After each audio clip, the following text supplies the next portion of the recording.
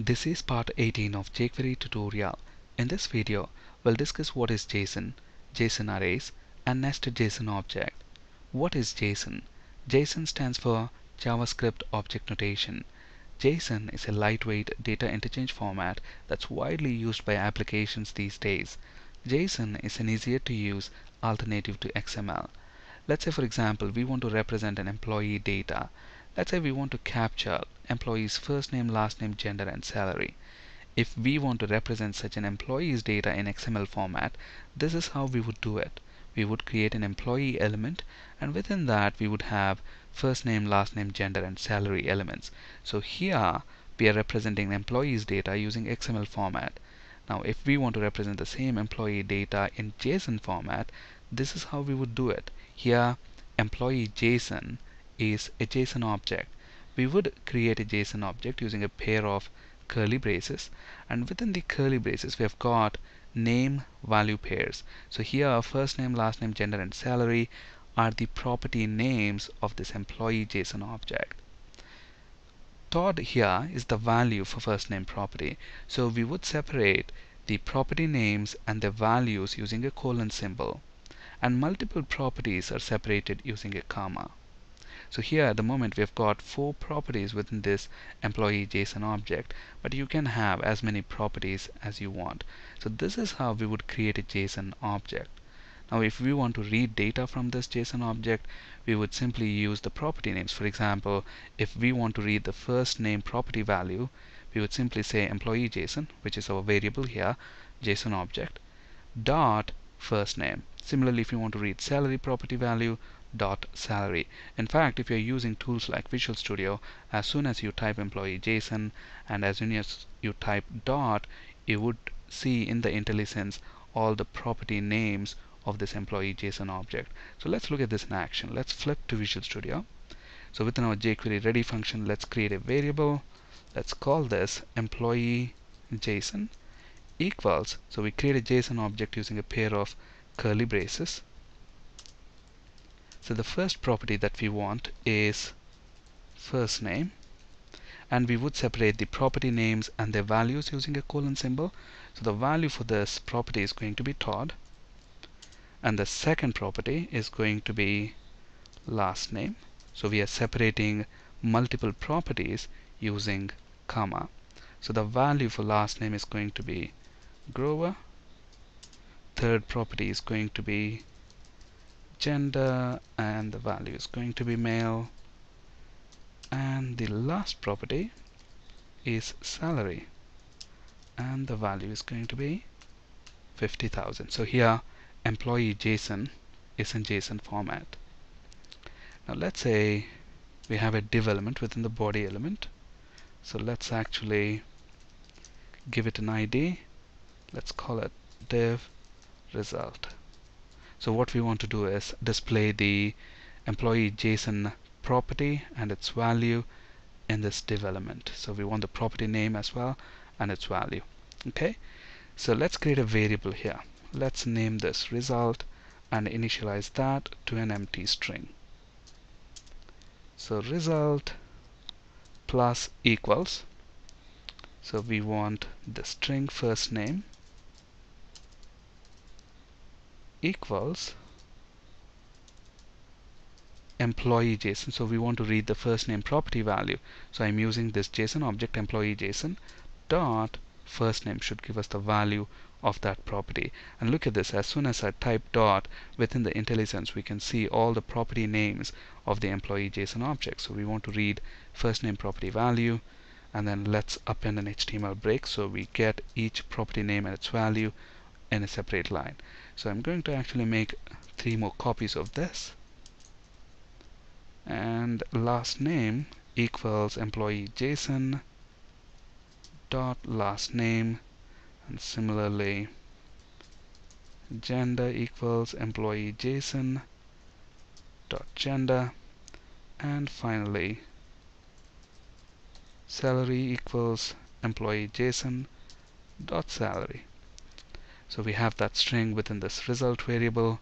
So we want to find this div element and set the HTML for that. So I'm going to use jQuery ID selector. and the id selector is pound so find element by id and the element that we want to find is result dev and set it as HTML alright so let's save these changes and when we reload we should say know all the property names and their respective values so here is the example where uh, you know we're creating a JSON object and reading uh, the data that's present within that JSON object and displaying that within the div element. Now, what if you want to store more than one employee data in the JSON object? At the moment, look at this, this JSON object only stores one employee object, but let's say I also have another employee, Sarah, and I want to store her details as well within this object.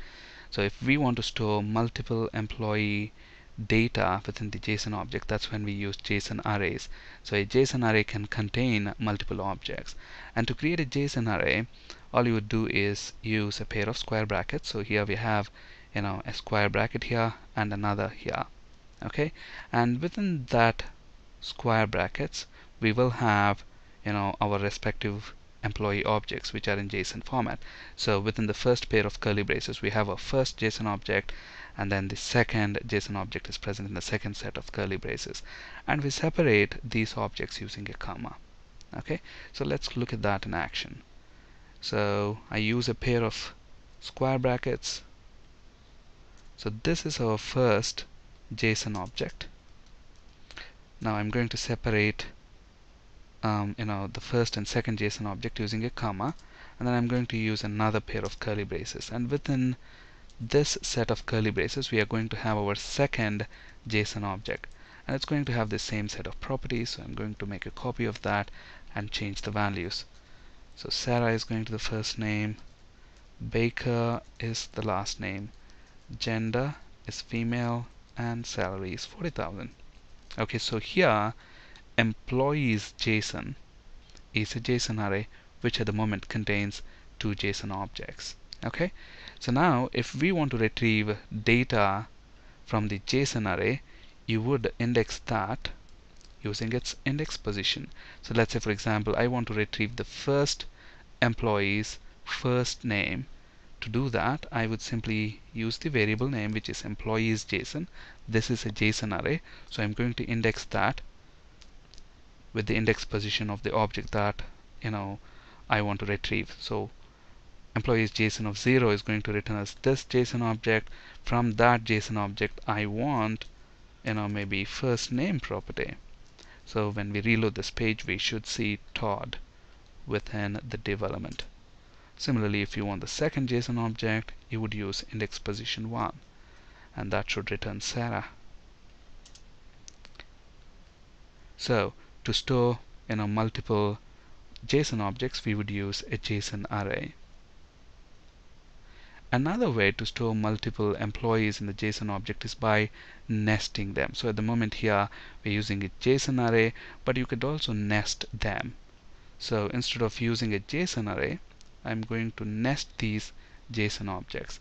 And to nest the JSON objects, instead of using square brackets, we would use an additional pair of curly braces. So I'm going to use a curly brace here. So that's the opening curly brace.